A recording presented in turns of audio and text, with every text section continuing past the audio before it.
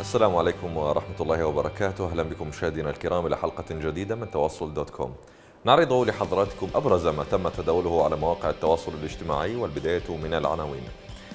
في عنواننا الأول استمرار المظاهرات والاعتصامات في محافظة البصرة وسط اعتداءات حكومية بالرصاص والغازات المسيلة للدموع.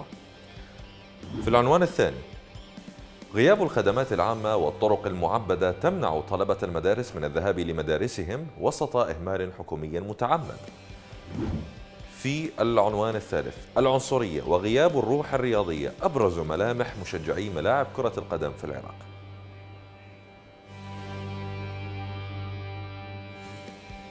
أهلا بكم.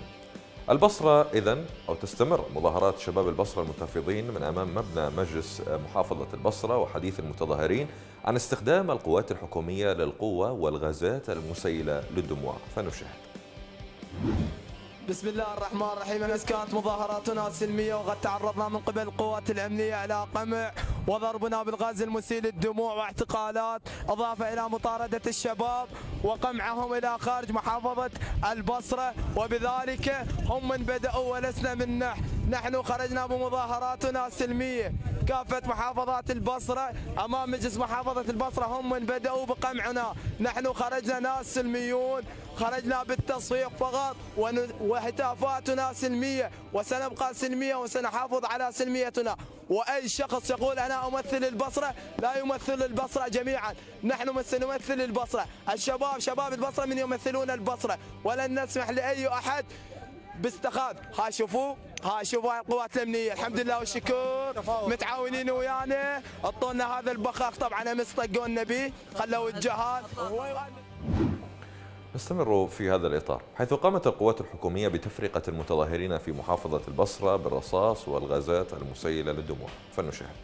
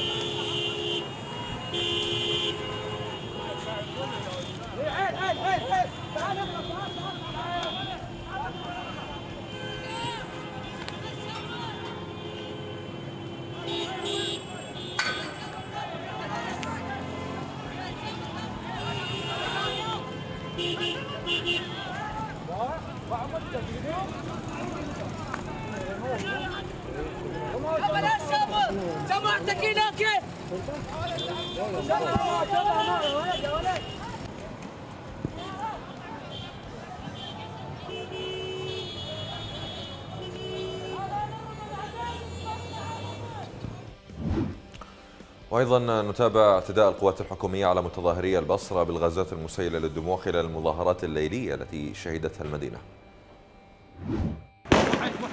ذاك السايد ما الوحش روح النار علينا راح يجي روح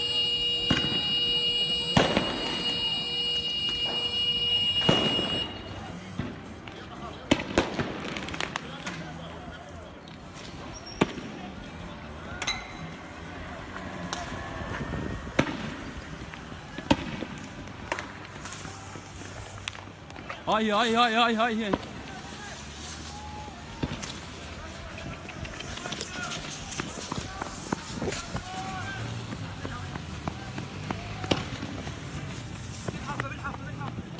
تعال يا شاشة هيك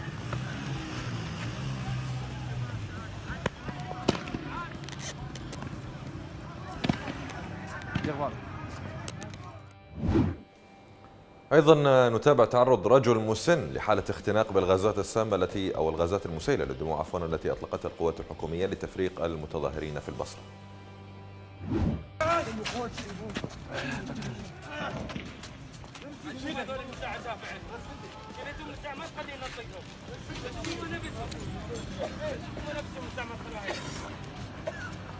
والله العظيم لا اللي شغل لا الله واقفين بالباب هم نفسهم عد شلون؟ شلون ضربه بالغاز خليك يا تحت خليك يا مع الحجي ونبقى في هذا الإطار مع آخر المقاطع لدينا في هذا الخصوص حيث تستمر التظاهرات الليلية في مدينة البصرة طبعا ضد الأحزاب الحاكمة التي تريد أن تتقاسم السلطة في المحافظة.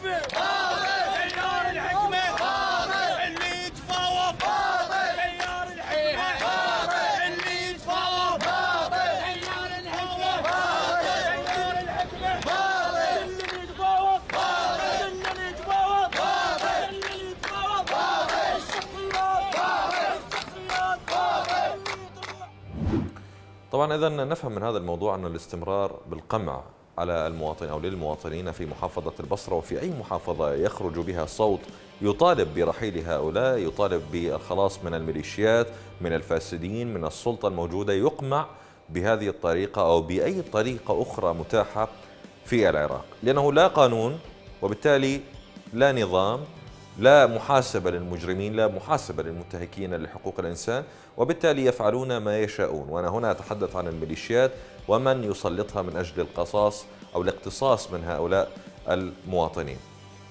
نتابع موضوع آخر. في بلد نفطي طبعا يحتوي على مليارات الدولارات. نتابع مع حضراتكم حال الطريق الذي يسلكه الطلبة أو الطلبة إلى المدرسة في محافظة وسط تحديدا قضاء النعمانية. فنشاهد.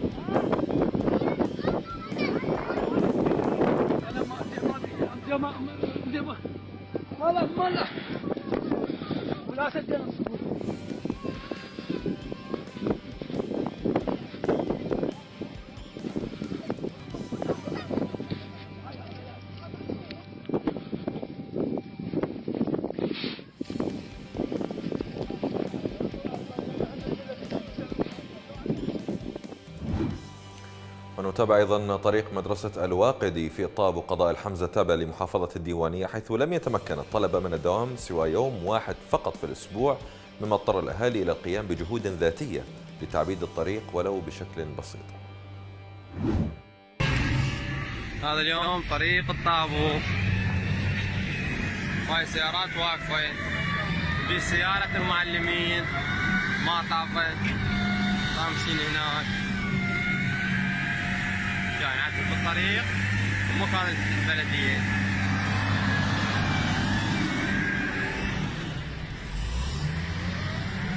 سيارات هاي ورا طامسة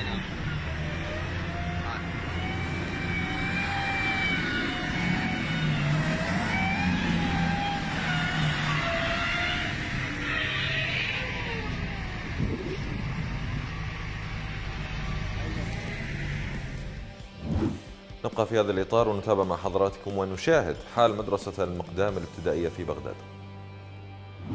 تلقاك؟ صعوبة. هذا الطفل إذا طاح الزبالة واحد ذاته يموت يخرج في الزبالة وفوق دوسة يموت. آه، هذا صور السلام نفس المدير قاعد يصور قاعد اي اي مدير عادي تفضل عيني كم واحد على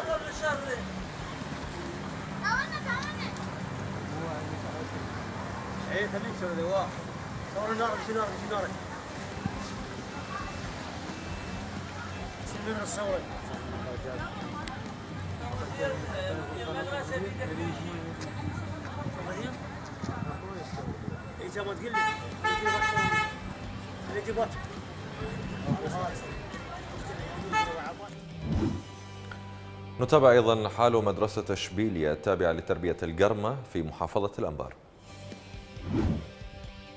بسم الله الرحمن الرحيم. هذا حال واقع مدرسة أشبيلية الابتدائية. مثل تشوفون هاي الصحيات طبعا عذرا. شوية منظر مو صحيات مو نظيفة. يقولون صحيات هي لا باب ولا شيء. هذا الخزان أطفال تداوم هنا مثل ما تشوفون أطفال. يقول لك المدرسة قيد الإنجاز. يعني بمراحلها النهائية وسألنا المقاول يقول بعد بيها شغل أربعة أشهر أو ثلاثة أشهر. هذا مثل ما تشوفون.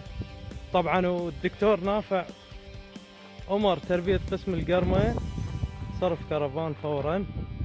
كذب كل شيء ما جابوه. هاي الأربع كرفانات اللي قلت لكم عليها هي هي. هذا واحد هذا اثنين هذا ثلاثة هذا أربعة. مدرسة أشبيلية الابتدائية قرمة. ناحية الخيرات.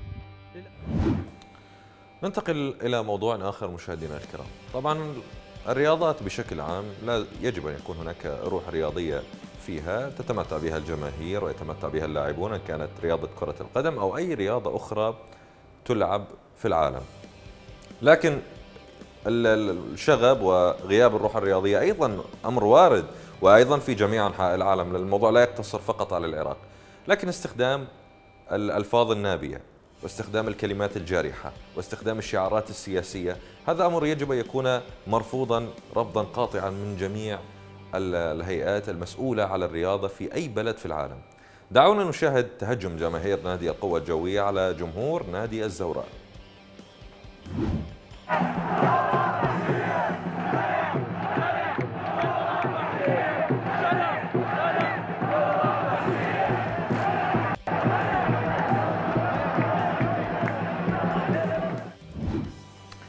ننتقل إلى موضوع آخر أيضا بنفس الخصوص لكن مقطع آخر وهو رد جمهور نادي الزوراء والتهجم على نادي القوة الجوية أثناء مباراة نادي القوة الجوية ونادي الشرطة.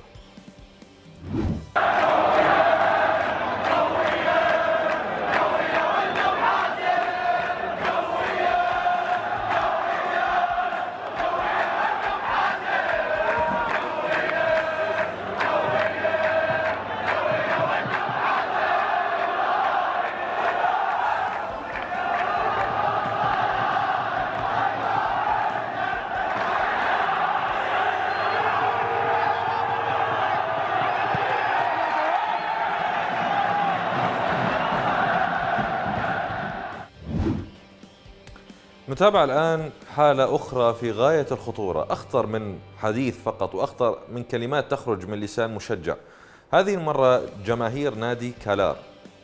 نادي يلعب في دوري كردستان لكرة القدم. تهاجم حافلة فريق خانقين ضمن دوري كردستان في غياب واضح طبعا وستشاهدون الآن. هذا ليس فقط غياب للروح الرياضية هذا التعدي ومحاولة لإيذاء أرواح الرياضيين الموجودين أرواح البشر. دعونا نشاهد.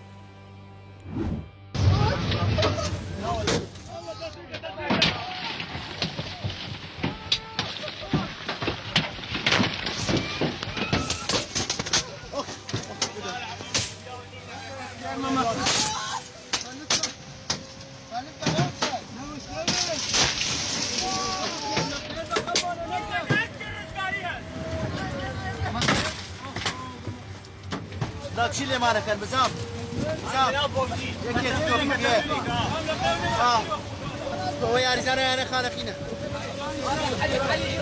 من الحيوانات من شفت تعال لا تعليق على ما شاهدناه الآن. ولكن في المقابل دائما ما تكون هناك الروح الرياضية.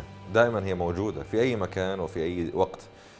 مباراة جمعت بين فريقي معهد الأنبار ومعهد الكوت. ورغم خسارة معهد الكوت إلا أنه قام أو مشجعوه قاموا بالهتاف والاحتفال بفوز فريق الأنبار. طبعا بروح رياضية جميلة نتمناها أن تحدث في جميع الملاعب دعونا نشاهد طبعا ألف مبروك بفوز الأنبار على الكوت على هاي نهدي من طلاب واصل أهل الأنبار. ودار الزمان ودار ودار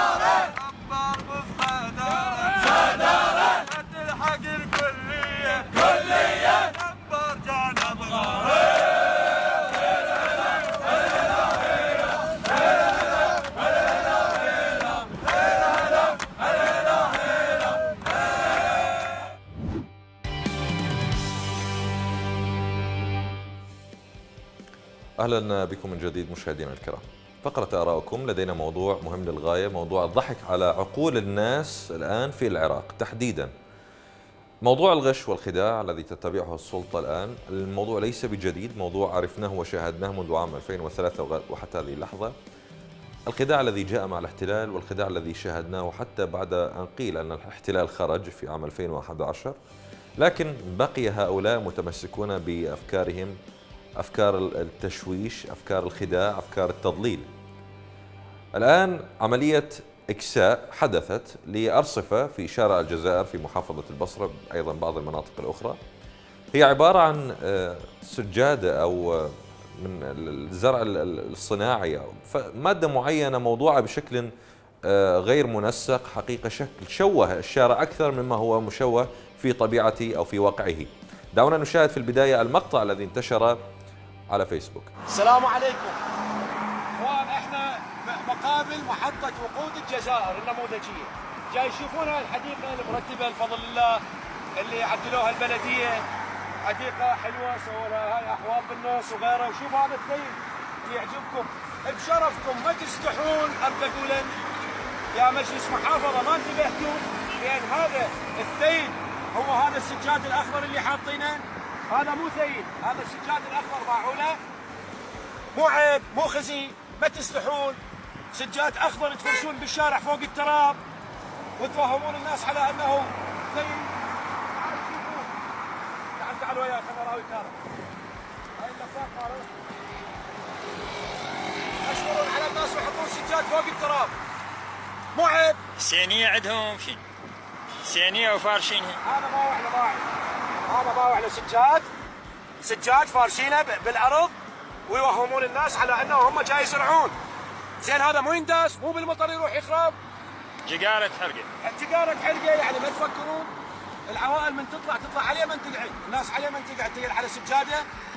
مو المفروض هذا ينزرع ثيل والكمبيش هو الثيل.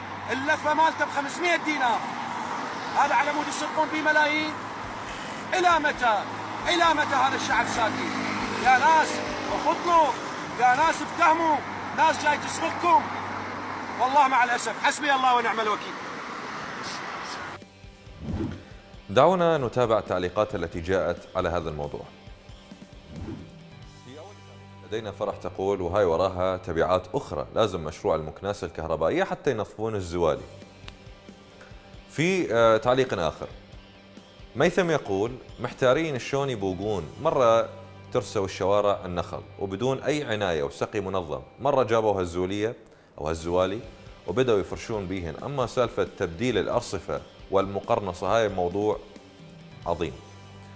في تعليق آخر أبو سالم يقول المتظاهرين طلعوا على التعيينات والماء الصالح للشرب والخدمات مو على زولية آخرتها يأكلها التراب.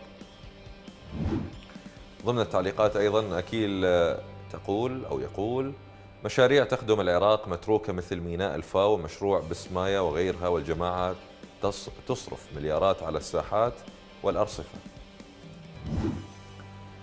جوهري يقول وفروا الماء ثم العيشة الكريمة ووفروا فرص العمل للمواطن وبعدين فكروا بالبساط الأخضر والأمور الترفيهية.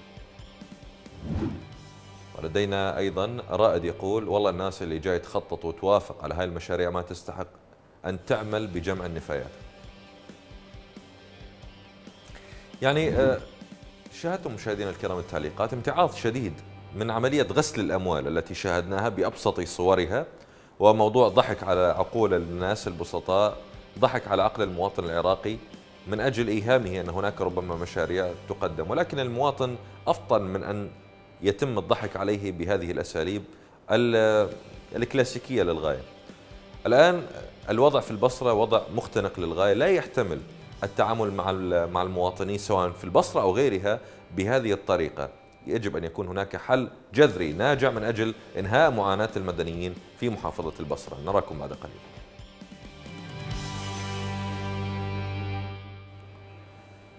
الوسم هو بعنوان نعم لإلغاء مجالس المحافظات. وسم عراقي تفاعل معه النشطاء على موقع تويتر للتواصل الاجتماعي. نبدأ من رؤوف الذي يقول خطوة على الطريق الصحيح. نطالب بإلغاء مجالس المحافظات التي أصبحت أشبه بمكاتب مقاولات الأحزاب. أثقلت ميزانية الدولة كل عضو يتمتع بمكتسبات وزير. في تغريدة أخرى أبو مهدي يقول مجالس المحافظات عبارة عن حلقة زائدة في العراق وبؤرة للفساد والسرقات. يجب حلها أو تحويلها إلى مجالس إعمار. في تغريدة أخرى. حيدر يقول لأنه حلقة فساد أكبر من البرلمان ودرجات خاصة ترهق ميزانية المحافظات والبصرة الدليل الأوضح.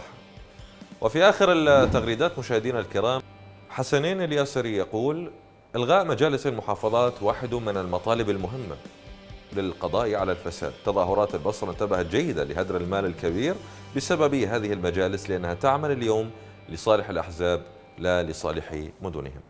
إذا تابعنا مشاهدينا الكرام هذه التغريدات التي وردت على موقع تويتر للتواصل الاجتماعي بخصوص هذا الهاشتاج نراكم بعد قليل